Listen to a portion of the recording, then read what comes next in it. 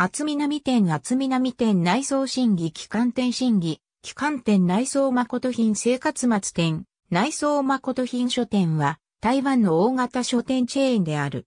五清友が1989年に創業した。当初は芸術人文方面の書籍を主に取り扱っていたが、後に総合書店に転換し、同時に書店を中心としたショッピングセンターの展開も始めている。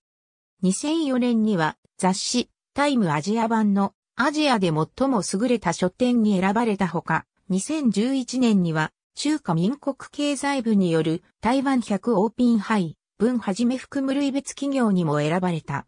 厚南阿蘇州、東京日本橋店内は、台湾の建築家、楊仁式による監修。香港ドラワン店誠品書店蘇州店誠品、書店日本橋店台湾では41店舗を展開している。そのうち、台北市にある厚南店は24時間営業していたが、2020年5月に再開発のため閉店した。その後審議店3階が24時間営業を引き継いでいる。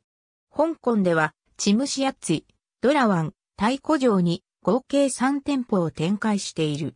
2015年、中国初の誠品蘇州店が開店した。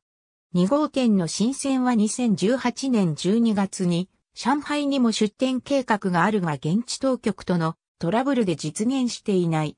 東京都中央区日本橋カリード、室町テラス。ありがとうございます。